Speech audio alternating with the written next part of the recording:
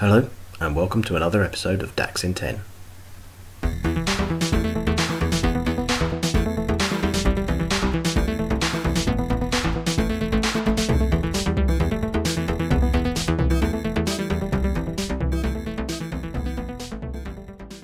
Hi, and welcome to the first episode of DAX in 10.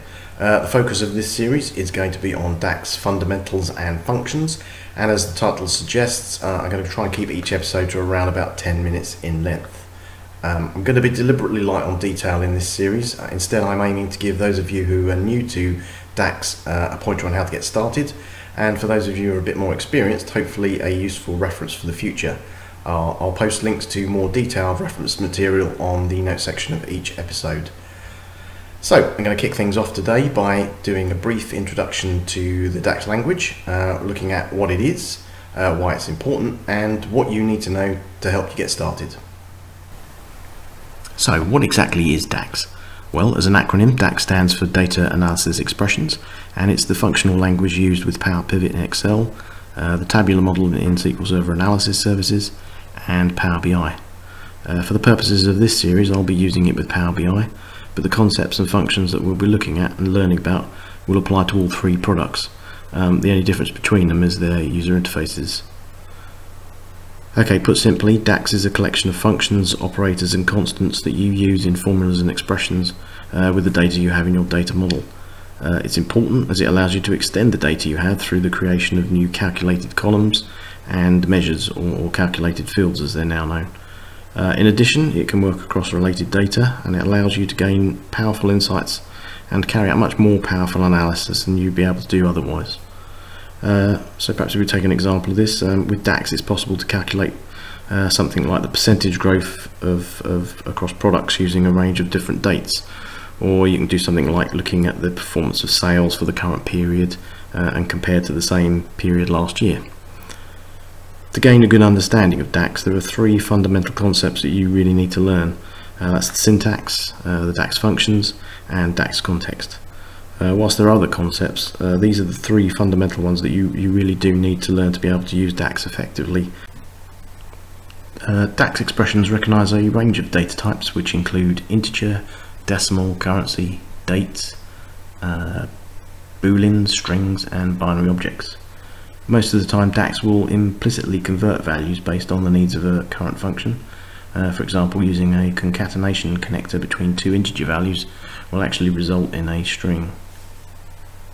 Okay, let's get started by looking at the first con concept, uh, which is syntax, and we'll start by using an example of a simple DAX measure. Uh, in this example, we start with the name of the measure, which is total sales.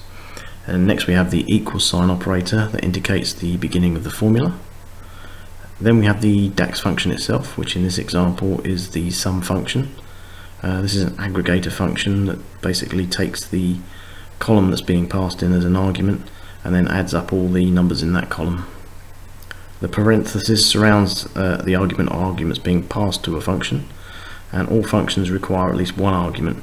Uh, however, many will take more than that and you can have functions nested within arguments. Uh, in this example we're passing just one argument to the sum function which is a reference to the sales amount column in the sales table. Uh, the next fundamental concept that you will need to learn about is DAX functions uh, and these are essentially predefined formula that perform calculations using the values that get passed in as arguments. Uh, arguments can be text, numbers, uh, column references, they can be other nested functions, they can be formulas or they can be expressions. Uh, there are a number of categories of DAX functions and these include logical, mathematical, statistical, date time and time intelligence. As you can see from the example we just used, uh, using DAX is similar to using formulas in Excel and, and there are there, there is a considerable overlap in the way you use them. However, there are also a lot of differences and many functions are unique to DAX. Uh, many of them work differently to Excel functions uh, for example, DAX includes functions that instead of returning a single value will return an entire table. However, if you've used Excel formulas before, uh, you're in a pretty good place to start using DAX. Uh, the last fundamental concept that you need to understand is DAX context.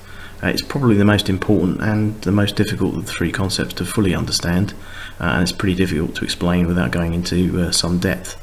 I'll leave the detailed stuff for later episodes, but briefly, there are two types of context within DAX, the row context and the filter context. When you use a column reference retrieve a value of a column for a given row, you need a way to tell DAX which row uh, to use. In other words, you need a way to define what is the current row of a table. And it's this concept of a current row that is the row context. You have a row context whenever you iterate over a table, either using an iterator function uh, like SUMX, or when you create a calculated column where the expression is evaluated for each row of the table. The filter context is the set of filters that were applied to your data model before the evaluation of a DAX expression begins. And if the filter context is empty, uh, a DAX expression will iterate over all rows of a table. Uh, if on the other hand the filter context is not empty, it, uh, it limits the rows in the table that the DAX expression can iterate over. So to help clarify this a bit better, let's take a look at an example of a function uh, to show you how the filter context operates. Uh, we'll start off by creating a new measure here, uh, which we'll call store sales. And for this we're going to use the calculate function. Uh, the calculate function evaluates an expression which is passed in as an argument uh, in a context that is modified by specified filters.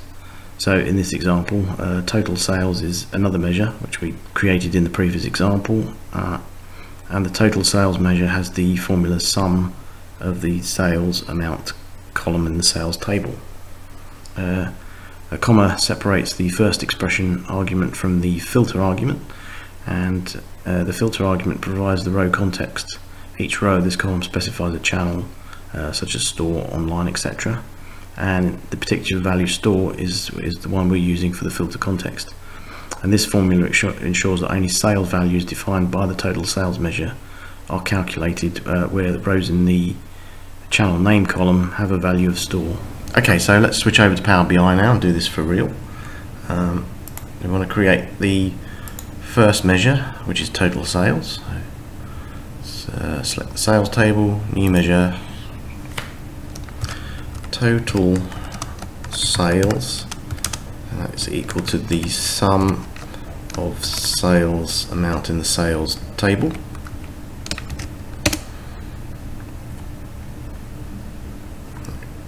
gives us our first measure well let's just show that on the desktop here as a chart so we have total sales um, and then the channel table is related to the sales table let me have a quick look at that there we can see that the channel table has a relationship with the sales table. So let's uh, split that by channel name.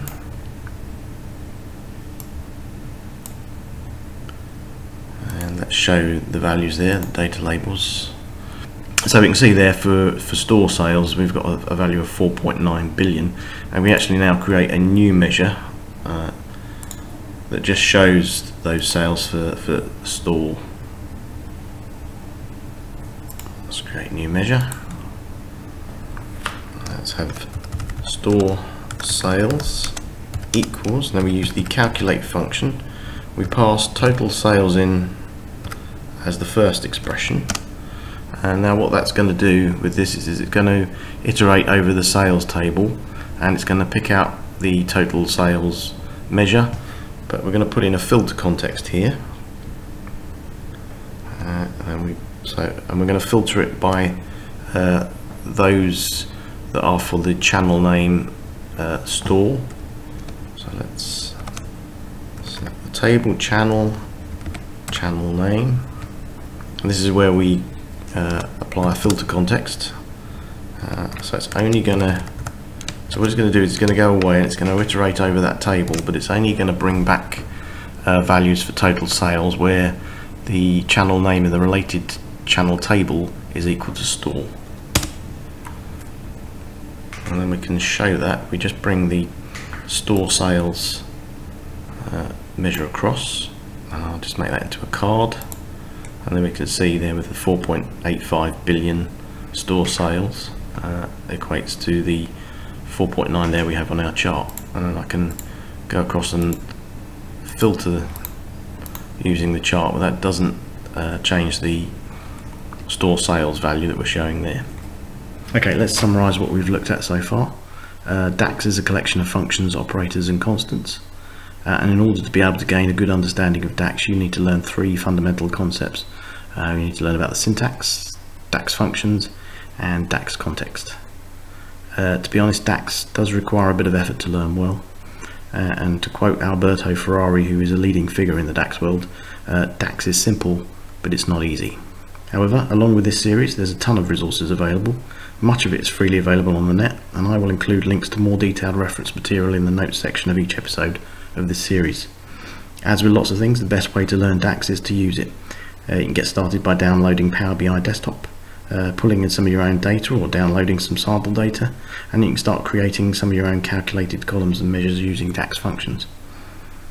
Well, that's a wrap for this introductory episode. If you enjoyed this introduction to DAX, uh, then please hit the thumbs up button. And if you want, why not leave a comment? If you want to be the first to find out when new episodes of this series are available, then please consider subscribing to the Data World channel. That's it for now. I look forward to seeing you in the next video and helping you to learn DAX with DAX in 10.